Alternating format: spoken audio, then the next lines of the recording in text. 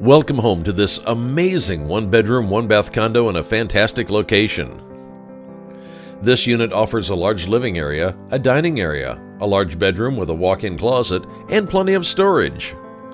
The laundry room comes with a washer and dryer included, complete with a nice sized patio and private parking space.